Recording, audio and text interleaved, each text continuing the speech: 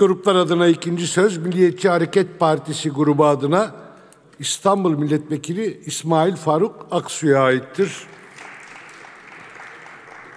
Buyurun Sayın Aksu. Ayrıca şahsınız adına da 5 dakika süreniz var. İkisini birleştiriyorum. Toplam konuşma süreniz 15 dakikadır. Sayın Başkan, Sayın Milletvekilleri, 39 sıra sayılı gelir vergisi kanunu ile bazı kanunlarda değişiklik yapılmasına dair kanun teklifinin birinci bölümü hakkında Milliyetçi Hareket Partisi grubu adına söz aldım. Genel kurulu ve aziz milletimizi saygıyla selamlıyorum. Görüşmekte olduğumuz kanun teklifinin ülkemiz ekonomisinde son yıllarda kaydedilen gelişmelere uyum sağlamak, belirlenen ekonomik program hedeflerinin gerçekleştirilmesine yardımcı olmak, vergide adalet, rekabet, basitlik, etkinlik, verimlilik ilkeleriyle vergi güvenliğini güçlendirmek ve idarenin etkinliğini artırmak suretiyle ihtilafları ortadan kaldırmayı amaçladığı teklif sahiplerince ifade edilmekte ve gerekçesinde yer almaktadır. Kanun teklifiyle başta ev hanımları ve kadın girişimciler olmak üzere evlerinde ürettikleri bazı ürünleri internet üzerinden satanların esnaf muaflığından faydalanmaları sağlanmaktadır. İnanıyoruz ki bu düzenleme kadınların iş hayatında ve karar alma mekanizmalarında daha fazla rol almalarının sağlanması ve toplumsal konumlarının güçlendirilmesi yönünde katkı sağlayacaktır. Seçim beyannamemizde de vurguladığımız gibi toplumun topyekün üretime katılmasına ve katıldığı oranda üretimden pay almasına dayanan katılımcı kalkınma anlayışımız ile doğal ve beşeri kaynakların bütünüyle harekete geçirilmesi gerektiğini düşünüyoruz. Bu kapsamda esnaf, sanatkar, çiftçi, ev kadını ve gençlerin atıl kaynakları harekete geçirecek yöntemlerle üretime daha aktif katılmalarının temin edilmesini, kadınlara dönük mesleki eğitim ve beceri kazandırma programlarının yaygınlaştırılmasını, kendi işini kuracak olanlara girişimcilik eğitimi verilmesini ve istihdam edilebilirliklerinin geliştirilmesini, kalkınma sürecinde iş hayatında ve karar alma mekanizmalarında daha fazla rol almalarını sağlayarak toplumsal konumlarının güçlendirilmesini gerekli görmekteyiz.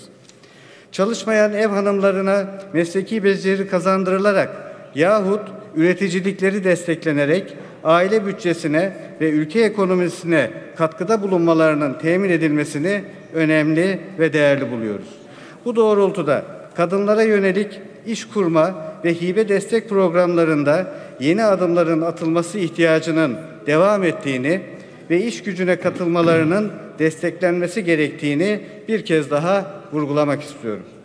Yapılan bir diğer düzenleme ile işsizlik kapsamında verilen tazminatlara uygulanan gelir vergisi istisnasının kapsamına açıklık getirilerek geçmiş dönemlerde uygulama farklılıkları nedeniyle yapılmış olan vergi kesintilerinin iadeleri sağlanmaktadır. Düzenleme ile işsizlik tazminatı ve işe başlatmama tazminatları gelir vergisi istisnasının kapsamına alınmak suretiyle bu alandaki mağduriyetler giderilmektedir. Yine vergiye uyumlu mükelleflerin vergi indiriminden faydalanması kolaylaştırılmaktadır. Bilindiği gibi vergi indirimi şartlarından birisi de indirimin hesaplanacağı beyannamenin ait olduğu yıl ile bu yıldan önceki son iki yıla ait vergi beyannamelerinin kanuni süresinde verilmiş ve verginin zamanında ödenmiş olmasıdır. Teklif ile her bir beyanname itibariyle 250 liraya kadar yapılan eksik ödemenin bu şartın ihlali kapsamında değerlendirilmemesi amaçlanmakta. Bu şekilde küçük rakamların ödenmesinin ihmal edilmesine bağlı oluşan sorumluluk ve vergi indirim şartının kaybedilmesi durumunun ve buna bağlı oluşan mağduriyetin önüne geçilmesi amaçlanmaktadır. Esasen seçim beyannamemizde de vurguladığımız gibi herkesin mali gücüne göre vergi ödediği adaletli bir vergi sisteminin tesis edilmesine, vergi ilişkin düzenlemelerde kamu finansmanı ile ilgili önceliklerin yanı sıra verginin üretim ve istihdam üzerindeki etkileriyle sosyal yönünün birlikte değerlendirilmesine ve sorumlu mükelleflerin ödüllendirilmesine katkı sağlayacak köklü bir vergi sisteminin inşasını gerekli görüyoruz. Değerli milletvekilleri, teklifin ana omurgasını oluşturan asgari ücret teşviki ile ilgili madde, asgari ücret desteğinin 2019 yılında da devam ettirilmesini düzenlemektedir. Madde hükmüne göre asgari ücret teşviki 2019 yılında Ocak-Aralık ayları arasında 12 ay uygulanacak. Teşvik miktarı ise ortalama sigorta sayısı sigort 500 işçinin altında olan iş yerlerinde çalışan işçiler için günlük 5 lira, aylık 150 lira, 500 işçinin üstünde olan iş yerlerinde çalışan işçiler için ise günlük 3,36 lira, aylık 100 lira olacaktır. Düzenleme ile 500 işçinin altında işçi çalıştıran iş yerleri için teşvik miktarının aylık 150 liraya çıkartılması şüphesiz olumlu olmuştur. Bilindiği gibi mevcut durumda teşvikten yararlanma kriterleri bakımından aylık ücret miktarı geçmiş yıllar ile bir önceki yıl brüt asgari ücretin toplu iş sözleşmesi uygulanan iş yerlerinde 3 katı, diğer iş yerlerinde ise 2 katı uygulanmıştır. Kanun teklifinde ise toplu iş sözleşmesi uygulanan iş yerleri için 2018 yılı brüt asgari ücretin 3 katı olan 6090 lira, toplu iş sözleşmesi uygulanmayan iş yerleri için ise brüt asgari ücretin 1,5 katı olan 3060 liranın altında ücret alan işçilere yönelik düzenleme yapılmaktadır. Teklif sendikalaşmayı teşvik açısından katkı sağlayabilecek olsa da toplu iş sözleşmesi uygulanmayan iş yerlerinde çalışan yaklaşık 1,3 milyon işçi için asgari ücret teşvikinden yararlanılamaması gibi bir durum söz konusu olabilecektir. Bu durum esasen küçük işletmelerdeki istihdamı artırmaya dönük girişimleri de olumsuz etkileyebilecektir. Kanun teklifiyle ayrıca Sanayi Mülkiyet Kanunu kapsamında patent veya faydalı model belgesi verilerek koruma altına alınan buluşların kurumlar vergisi istisnasından yararlanması hususu açıklığa kavuşturulmaktadır. COSGAP tarafından desteklenen ARGE projeleri süreçlerinde uzman ve öğretim üyesi görevlendirilmesi ve görevlendirilere ikinci görev aylığı ödenmesi imkanı getirilmekte. Ayrıca yurt dışı Türkler ve Akraba Topluluklar Başkanlığında en az 5 yıldır sözleşmeli çalışan uzmanların kadroya geçirilmesi mümkün hale getirilmektedir. 5307 sayılı sıvılaştırılmış petrol gazları piyasası kanunu ve elektrik piyasası kanununda yapılan düzenleme ile başka LPG dağıtıcılarının bayilerine dağıtım yapma imkanı verilmektedir. Birden fazla dolum tesisine sahip olma zorunluluğunun piyasanın sağlıklı işleyişi ve rekabet politikalarına uyum amacıyla değiştirilerek dolum tesisi ve depolama tesisinden biri yeterli görülmekte bayi açmak için dolum tesisi olma zorunluluğu da kaldırılmaktadır. Ayrıca yerli ve yabancı sinema film gösterimi yapan işletmelerin ödeme kaydedici cihaz kullanma zorunluluğu olmaksızın e-bilet uygulamasına geçmelerinin teşvik edilmesi öngörülmektedir.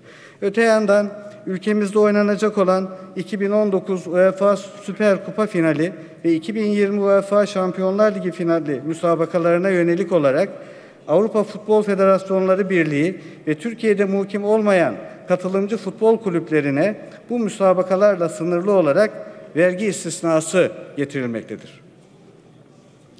Teklifin 7. maddesiyle kıyı kanununda bazı değişiklikler öngörülmektedir. Hatırlanacağı gibi Sayın Genel Başkanımız Devlet Bahçeli'nin Türk tarihinde önemli bir yere sahip olan Ahlat'ta bir Cumhurbaşkanlığı köşkü yapılması yönündeki çağrısı Sayın Cumhurbaşkanımızca da uygun bulunmuş ve bu yönde müjde verilmişti. Bu kapsamda Ahlat'ta Van Gölü kenarında Cumhurbaşkanlığı Köşkü yapılması amacıyla düzenleme yapılmasını olumlu ve anlamlı buluyor. Sayın Cumhurbaşkanımıza ve teklif sahiplerine teşekkür ediyoruz. Değerli milletvekilleri, Milliyetçi Hareket Partisi olarak yapılan tüm düzenlemelerin toplumsal refahın yükseltilmesine, dar ve sabit gelirli vatandaşlarımızın sıkıntılarının azaltılmasına ve üretim ve istihdamın artırılmasına katkı sağlaması gerektiğini değerlendiriyor. Bunlara yönelik çalışmaları destekliyoruz. Ekonomideki kaynak dağılımında adalet ve etkinliğin, kamu hizmet üretiminde ise verimliliğin temel ilke olmasını önemli görüyoruz. hukuk normlarında, vergilemede ve bürokratik işlemlerde yatırım için her bakımdan öngörülebilir, istikrarlı ve güne- güvenilir bir ortam oluşturulması, yerli ve yabancı yatırımcı için bütünüyle kurumsal hale gelmiş bir yatırım ortamı teşekkül ettirilmesi önem arz etmektedir. Teknoloji kullanan, yenilikçiliği, verimliliği ve istihdamı gözeten, rekabet gücü yüksek bir ekonominin tesisi ve toplumun refah düzeyini artırarak sosyal dokunun güçlendirilmesi için ülkemizin kendi milli imkan ve şartları ile doğal ve beşeri kaynaklarını dikkate alan bağımsız bir üreten ekonomi programının hayata geçirilmesini, Türkiye'nin maruz kaldığı ekonomik saldırılar ve ekonomik güvenlik tehdidi karşısında gerekli görüyoruz. İstihdamın artırılması için hem yüksek hem de sorunsuz bir üretim yapısına sahip olacak şekilde istikrarlı büyümenin şart olduğunu, bu çerçevede devletin ekonomideki kaynak tahsisine yön vermek suretiyle üretimi artıracak yatırımlara öncelik vermesi ve özel sektör yatırımlarının üretime yönlendirilmesi doğrultusunda politika oluşturulmasını ülkemizin gelişmesi ve kalkınması bakımından önemli olarak değerlendiriyoruz. Bu kapsamda milletimizin refahına ve ülkemizin kalkınmasına katkı sağlayacağını düşündüğümüz ve olumlu değerlendirdiğimiz kanun teklifinin hayırlı olmasını temenni ediyorum. Ayrıca yarın tatile girecek olan tüm öğrencilerimizin ve öğretmenlerimizin huzurlu ve mutlu bir tatil geçirmesini diliyor. Yüce Meclis'in siz değerli üyelerini saygıyla selamlıyorum. Teşekkürler Sayın Aksu.